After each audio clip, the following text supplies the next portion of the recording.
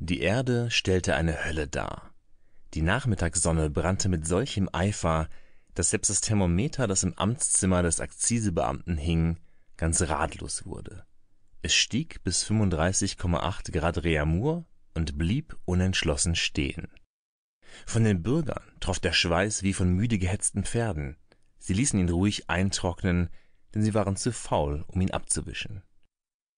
Über den großen Marktplatz, längs der Häuserreihe mit den hermetisch verschlossenen Fensterläden, gingen zwei Bürger, der Rentmeister Potschischichin und der Rechtskonsulent und jahrelanger Berichterstatter der Zeitung Sohn des Vaterlandes Optimow. Sie gingen nebeneinander und schwiegen infolge der großen Hitze. Optimow hatte wohl Lust, Kritik am Magistrat wegen des Staubes und Schmutzes auf dem Marktplatz zu üben, da er aber den friedlichen Charakter und die gemäßigte Gesinnung seines Weggenossen kannte, zog er es vor zu schweigen. Mitten auf dem Marktplatze blieb Potscheschichin plötzlich stehen und blickte zum Himmel hinauf. »Was schauen Sie denn, Jewpel Serapionitsch?« »Da sind eben Stare vorbeigeflogen. Ich will mal sehen, wo sie sich hinsetzen werden. Eine ganze Wolke.« Wenn man aus einem Gewehr schießen und sie dann auflesen wollte, und wenn man im Garten des Herrn Dompfarrers haben sie sich hingesetzt. Keine Spur, Jewpel Serapionitsch, nicht beim Herrn Dompfarrer, sondern beim Herrn Diakon Vratuadow. Und wenn man von hier aus schießen wollte, so würde man nichts treffen. So ein Schrotkorn ist ja klein und verliert, ehe es sie erreicht, jede Kraft. Und warum sollte man sie auch töten? Der Vogel fügt zwar dem Beerenobst Schaden zu, ist aber immerhin eine Kreatur Gottes. Der Star kann auch beispielsweise singen. Warum singt er aber? Um den Schöpfer zu preisen. Alles, was Odem hat, lobt den Herrn. Ach nein, Sie haben sich doch beim Dummfahrer hingesetzt.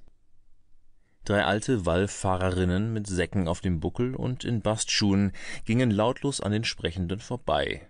Sie blickten Prochischichin und Optimow, die aus einem unbegreiflichen Grunde das Haus des Dompfarrers betrachteten, fragend an, verlangsamten die Schritte, blieben nach einer Weile gleichfalls stehen, sahen sich noch einmal nach den beiden Freunden um und begannen gleichfalls das Haus des Dompfarrers anzustarren. Ja, Sie haben recht, Sie haben sich tatsächlich beim Dompfarrer niedergelassen, fuhr Optimow fort, bei ihm sind eben die Kirschen reif geworden. Sie wollen sich wohl an die Kirschen machen. Aus dem Dompfarrhaus trat nun der Dompfarrer Wosmistischjew in eigener Person in Begleitung des Küsters Jewstingej auf die Straße. Als er sah, dass man sein Haus so aufmerksam betrachtete, und da er nicht verstehen konnte, was die Leute so anzog, blieb auch er stehen und begann mit dem Küster gleichfalls zum Himmel hinaufzublicken, um die Ursache zu ergründen. Vater Paisi geht wohl zu einer heiligen Amtshandlung, sagte Potschischichin. Gott stehe ihm bei. Zwischen den Freunden und dem Herrn Dompfarrer gingen die Arbeiter von der Purowschen Fabrik vorbei, die soeben im Flusse gebadet hatten. Als sie den Vater Paisi, der angestrengt zum Himmel hinaufblickte, und die Wallfahrerinnen, die unbeweglich dastanden und gleichfalls hinaufstarrten, sahen, blieben auch sie stehen und blickten in die gleiche Richtung. Dasselbe taten ein Junge, der einen blinden Bettler führte, und ein Bauer, der ein Fässchen verdorbener Heringe schleppte, um sie auf dem Marktplatz abzuladen. Es ist wohl etwas los, sagte Potscheschichin. Vielleicht eine Feuersbrunst? Nein, es ist kein Rauch zu sehen. Hey, Kusma, schrie er dem Bauern zu, der stehen geblieben war. Was ist denn los? Der Bauer antwortete etwas, aber Potscheschichin und Optimow hörten es nicht. In allen Ladentüren zeigten sich die verschlafenen Kommis.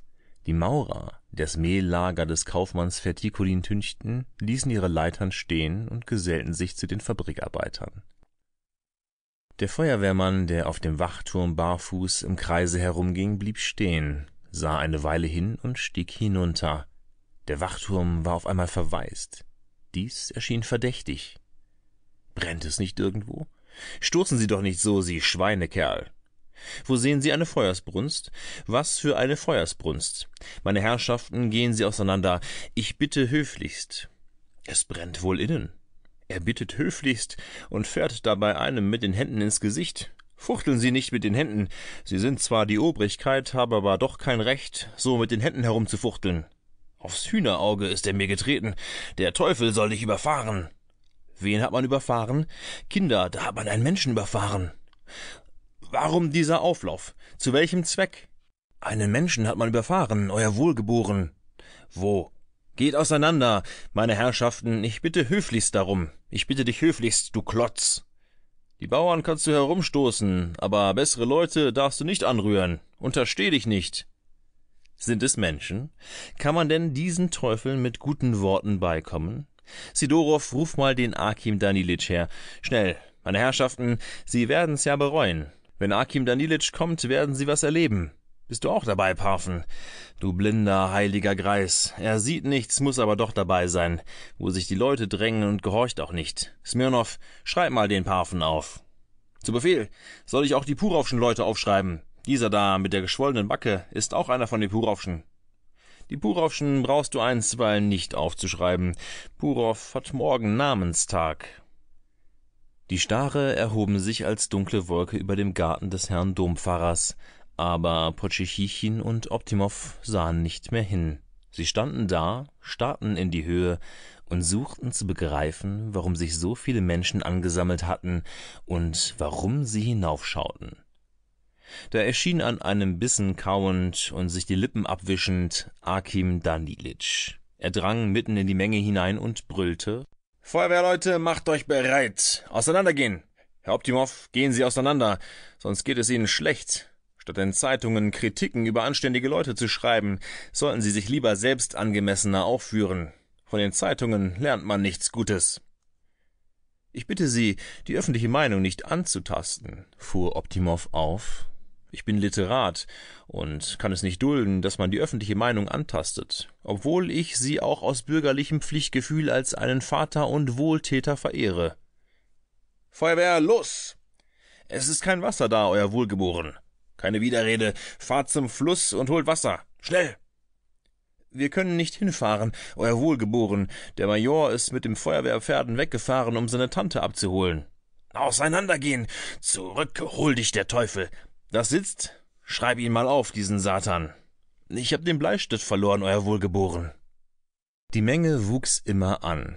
Gott weiß, zu welchen Dimensionen sie noch angewachsen wäre, wenn es dem Gastwirt Greschkin nicht eingefallen wäre, in diesem Augenblick das aus Moskau verschriebene neue Orchestrion zu probieren. Als die Leute das Schützenlied hörten, stöhnten sie vor Entzücken auf und stürzten zum Gasthaus. So erfuhr kein Mensch, warum sich die Menge angesammelt hatte, und auch Optimow und Potschechichin hatten schon die Stare, die wahren Schuldigen ganz vergessen. Nach einer Stunde war die Stadt schon wieder still und unbeweglich, und man sah nur einen einzigen Menschen, den Feuerwehrmann, der auf dem Wachturme herumging. Am Abend des gleichen Tages saß Akim Danilitsch im Kolonialwarengeschäft Fertikulins, trank Brauselimonade mit Cognac und schrieb. Dem offiziellen Bericht erlaube ich mir meinerseits einen Nachtrag beizufügen, euer Hochwohlgeboren, Vater und Wohltäter, nur dank den Gebeten ihrer tugendhaften Frau Gemahlin, die sich in der wohlduftenden Sommerfrische in der Nähe unserer Stadt aufhält, ist es nicht zum Äußersten gekommen. Was ich an diesem einen Tag ausstehen musste, kann ich gar nicht schildern. Für die administrative Tüchtigkeit Kruschenskis und des Feuerwehrmajors Portupejew finde ich keine gebührende Bezeichnung. Ich bin stolz auf diese würdigen Diener des Vaterlandes. Ich aber tat alles, was ein schwacher Mensch, der seinen Nächsten nur Gutes will, überhaupt zu tun vermag. Und während ich jetzt am eigenen Herde sitze, danke ich unter Tränen dem, der uns vor einem Blutvergießen bewahrt hat. Die Schuldigen sitzen wegen mangelnder Beweise einstweilen hinter Schloss und Riegel, doch ich habe die Absicht, sie nach etwa acht Tagen herauszulassen. Nur aus Unwissenheit haben sie das Gebot übertreten.